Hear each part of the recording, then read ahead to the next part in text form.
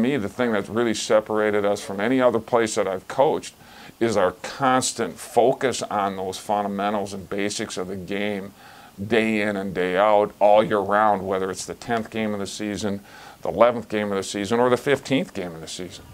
Um, in the sense of body positioning, finishing the rip, um, finishing the pin on the claw snake move, getting a nice punch on the bag, whether it's punt pro or pass pro or whatever it may be.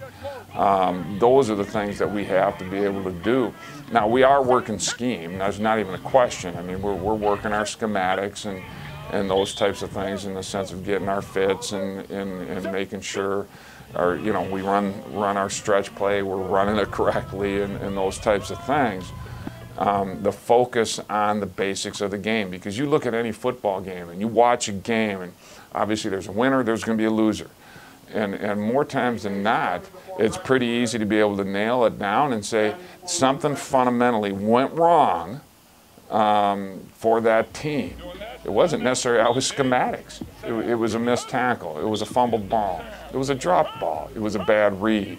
It, whatever it may, a bad exchange between the quarterback and center. That a lot of things will be able to come down to really basic fundamentals.